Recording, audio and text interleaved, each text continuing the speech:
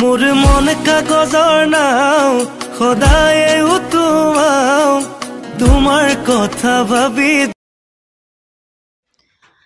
এয়া আজি ডাৱৰীয়া বতৰ যে সেইকাৰণে বনাব ল'লোঁ আলু পৰঠা।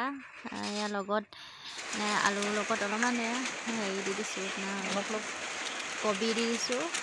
ধনিয়া চনিয়া তেনেকৈ ধুনীয়াকৈ মিক্স কৰি সানি লৈছোঁ। তাৰপৰা ইফালে ৰেডি হৈ গ'ল আলু পৰঠা। প্ৰথমটো মালিকে বনাব লৈছে। তাৰপিছৰকেইটা মই বনাম আৰু যেনিবা দেখাই লৈছোঁ অকণমানকৈ সেয়া পূৰা পেকিং কৰি আছে সৰহকৈ দি দিলে আলু একদম। মঠি আছে পূৰা। তাৰপিছৰখিনি মই বনাওঁ আৰু। ডাৱৰীয়া বতৰ কিনো খাওঁ খাওঁকৈ ভাবি আলু পৰঠাকে খাওঁ বোলো আজি।